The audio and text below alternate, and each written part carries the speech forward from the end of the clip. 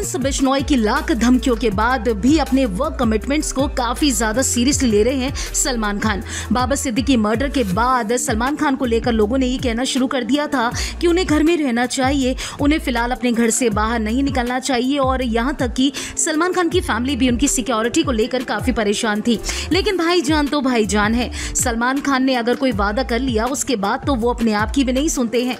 जी हाँ अपने work commitment के चलते ही सलमान खान ने बिग बॉस 18 के वीकेंड का वार को भी शूट किया और उनका नया प्रोमो जो है, वो भी सामने आ चुका है। इतनी सारी धमकियों के बावजूद रियलिटी शो बिग बॉस 18 को होस्ट कर रहे हैं सलमान खान और उनका नया प्रोमो जो सामने आया है, इसमें वो घर वालों से बात करते नज़र आ रहे हैं और इसके साथ ही उनकी गलतियाँ भी बता रहे हैं। शो का ये प्रोमो काफ़ी ज़्यादा खबरों में है क्योंकि सलमान खान ने घर वालों से बात करते हुए इनडायरेक्टली अपने बारे में भी बात की है। उन्होंने कहा कि उन पर भी कई बार आरोप लग चुके हैं। जी हाँ आप तो जानते ही हैं कि हाल ही में लॉरेंस बिश्नोई गैंग की तरफ़ से बाबा सिद्दीकी का मर्डर कर दिया गया। इसके साथ ही मर्डर की ज़िम्मेदारी लॉरेंस बिश्नोई गैंग ने ले ली और ये भी कहा कि सलमान खान को बिश्नोई समाज के सामने माफ़ी मांगनी होगी। हालाँकि माफ़ी मांगने को लेकर सलमान खान का तो कोई रिएक्शन सामने नहीं आया, लेकिन उनके पिता सलीम खान ने ये साफ़ कर दिया है कि जब उनके बेटे ने काले हिरण को मारा ही नहीं, उसने तो कभी कीड़े मकोड़े तक को नहीं मारा तो आखिर सलमान खान माफ़ी क्यों मांगे? और इन्हीं सबके बीच अब जो नया प्रोमो सामने आया है, उसमें सलमान खान अपने ऊपर लगे लांछन पर भी बात करते नज़र आए हैं। लेटेस्ट प्रोमो में सलमान खान घर वालों से बात कर रहे हैं। उनका कहना है कि किसी पर भी इतना बड़ा लांछन लगाया जाए कि उसकी फैमिली का क्या होता होगा। उन्हें किस नज़र से लोग देखते होंगे कि आपका बेटा क्या कर रहा है? घर वाले बोलते हैं कि महिलाएँ उसके साथ सुरक्षित नहीं। मुझे ये सब अच्छे से पता है क्योंकि मेरे ऊपर भी बहुत सारे लांछन लगाए गए हैं। तो मुझे पता है कि मेरे माता पिता पर क्या गुजरती है। सलमान खान इस वीडियो में वीकेंड कबार पर घर वालों की क्लास लगाते नज़र आ रहे हैं।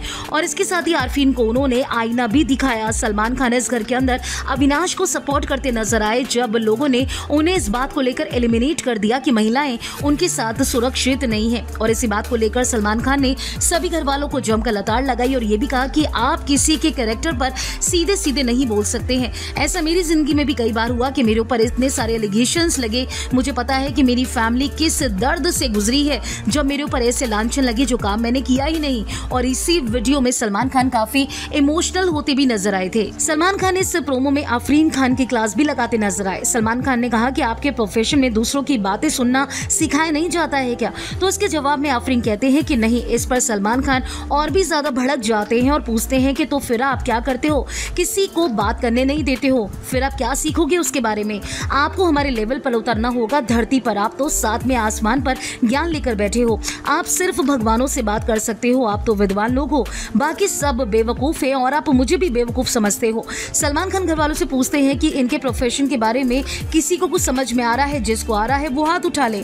वीडियो में कोई भी घर वाला हाथ उठाता नज़र नहीं आया और ऐसा ही देखने को मिला जब सलमान खान वीकेंड का वार पर लोगों की क्लास लगाते नज़र आए और कहीं ना कहीं इनडायरेक्टली वो अपने बारे में भी बातें करते नज़र आए हैं कि भारी दुनिया में उन्हें लेकर लोगों ने न जाने क्या क्या कहा, लेकिन इसके बावजूद उन्होंने इन बातों पर रिएक्शन नहीं दिया। लेकिन वो जानते हैं कि फैमिली का दर्द क्या होता है जब उनके बेटे बारे में कोई गलत बातें करता है। अगर आपने फिल्मी बीट को अभी तक सब्सक्राइब नहीं किया तो कर लीजिए। आप हमारा ये वीडियो फेसबुक पेज पर देख रहे हैं तो उसे भी लाइक कीजिए।